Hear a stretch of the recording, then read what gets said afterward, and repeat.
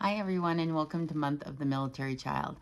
I'm Anna Larson, your military spouse transition expert. So, I talk a lot about military spouses transitioning out of active duty military life and how they can do that best.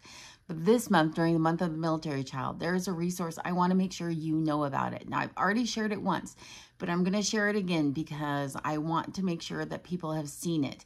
So, this is a scholarship database that was put together um, by somebody else. 500 hours of research went in to document 500 different scholarships um, that are available for military affiliated spouses and dependents.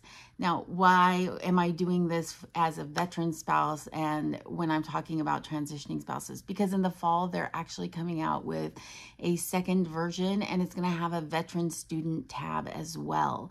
Okay, so that does not mean that of the 500 that are in this database currently that transitioned out of active duty families do not qualify for these scholarships. It just means that in the fall, there's going to be an even easier way to figure that out. So, if you uh, have a child or if you are a military spouse and you're looking for post secondary scholarship information, you need to check this resource out. It's amazing. I'm going to tag the people responsible for it in this post as well to make sure that they get some credit. I've done a lot of research to try and figure out who they are.